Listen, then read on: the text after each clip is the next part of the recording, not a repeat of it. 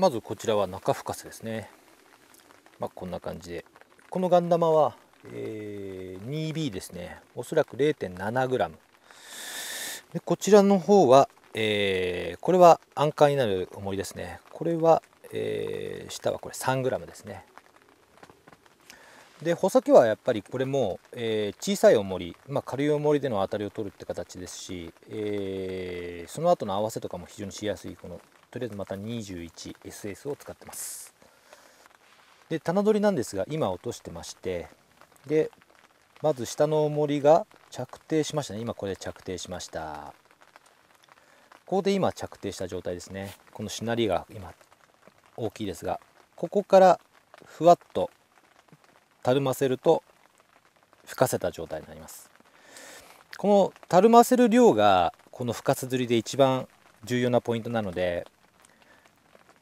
まあ表情であればまず、えー、と今深瀬の量なんですけどもここで今下の重りが上に上がるかどうか今ギリギリぐらいですね。上が今上がったところなんでこれが今ついてこれが今ゼロの状態ですね。でここから少しずつ深さの量がだいたい0からだいたい15センチぐらいが非常にこの深瀬釣りで一番よく対応します。館とかでちょっと動く場合は20センチぐらいまで、えー、深瀬の量を、あのー、吹かせて、えー、やることも結構多いです。でここでついて今ちょうど深瀬の量がえーとここですからまあ、大体15センチぐらいのところで。でここで一旦スプールに糸を止めます。これで準備完了です。幹部かせも同じような感じで仕掛けを落とします。でここで今落ちました。ここですね。でガン玉が一番上についてますのでうんと仕掛け全体が吹ける状態になりますね。吹かせた状態になりますので誘いの幅もですね結構広めにとってもまあワイドに誘えると思います、えー、仕掛け全体が吹ける状態なのでうんと吹かせる幅は一応ここから0今ここで0になりました。ここから約20センチぐらいまでの間でセットしちゃえと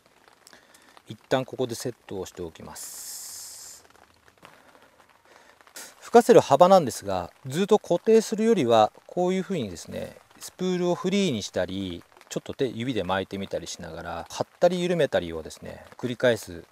まあこれは誘いにもなるんですが吹かせの幅をいろいろ変えますとですね当たりの出方が変わったり杭が変わったりとかこの深釣りはかなりそういう部分では非常に奥の深い部分もあります。やはり軽いガン玉です、うんを使ってますから、えー、それなりにスローな動きになりますので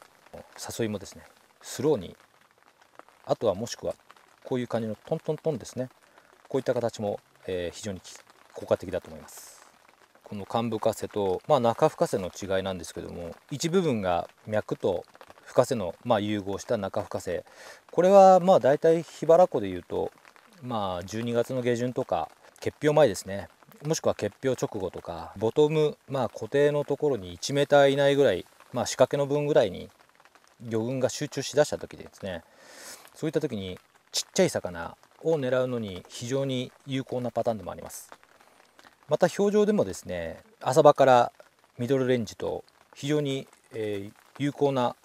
レンジが広いですのでまあガンダムの位置を変えながら浅ければ軽い重りで仕掛けの下の方に弾を打ってみたりとか中ぐらいのミドルレンジであれば、えー、仕掛けのちょっと上の方に打ってみてたるませる幅を下側だけちょっと多めに上は突然やってくる、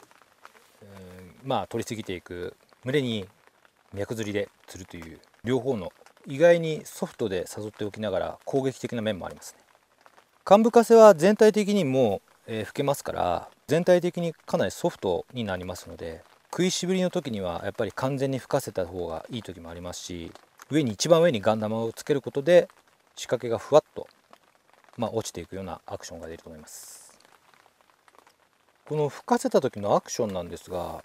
でふわっと落ちていくっていうのはガン玉から下っていうのは、えー、まあ枝と幹糸があるわけなんですけども普通の脈釣りの状態であれば幹糸はですね重りとまあ竿の間に挟まれてるわけですから枝すだけがフリーな状態。吹かせた場合は、うんと、ガン玉から下はですねほとんど幹糸も枝すもフリーの状態になりますからまあ見方を変えればですねガン玉から下っていうのは長い枝数っていうような解釈もできます。ですから深瀬の幅が大きければゆっくり沈みますし深瀬の幅をどんどん広くすればどんどんどんどん沈んでいくっていう。かなりナチュラルな動き自然な動きになっていくっていうのが深瀬釣りで一番の強みじゃないかなと僕は思ってます。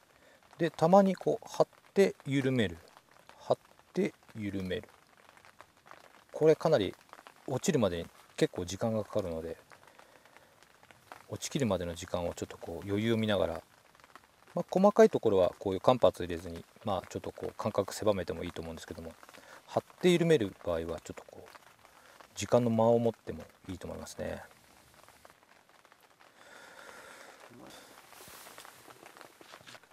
釣れちゃってるし。早速中深瀬釣れちゃいましたね。よいしょ。